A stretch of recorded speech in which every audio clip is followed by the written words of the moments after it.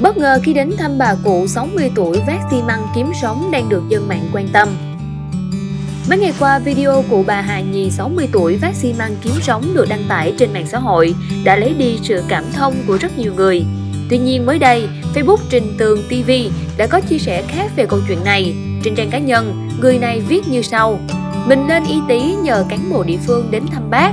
Phải nói là quá bất ngờ, cuộc sống của bác tốt hơn chúng ta nghĩ rất nhiều khi xem qua video vài chục giây với bộ áo mưa rách, chân trần, không khẩu trang và ấm lòng cảm động trước tấm lòng sẻ chia của cộng đồng.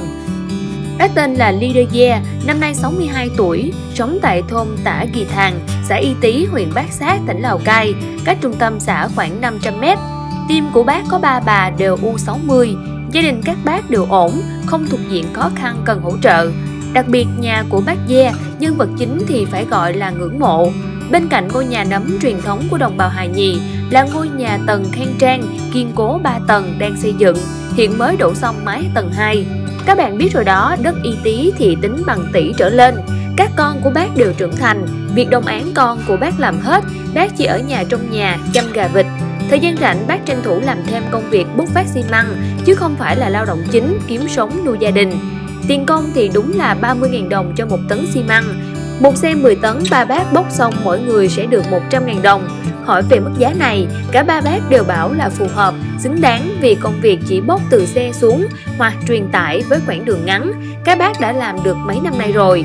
Để phục sức khỏe phi thường của các bác, chớ mình thì hì hì.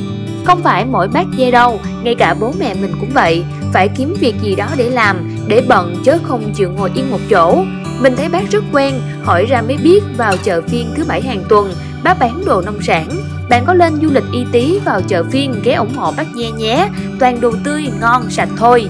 Mạng xã hội là ảo nhưng con người là thật, có sức mạnh rất lớn, cho nên nếu có làm gì, nhất là hình ảnh của người khác lên thì trước tiên nên xin ý kiến, xa hơn là nên tìm hiểu về hoàn cảnh để có cái nhìn toàn diện hơn, tránh những phiền toái về sau. Câu chuyện hiện vẫn đang được bàn tán xôn xao. Cảm ơn các bạn đã quan tâm theo dõi. Đừng quên đăng ký kênh Tin 3 Phút để cập nhật tin tức nóng hổi mỗi ngày.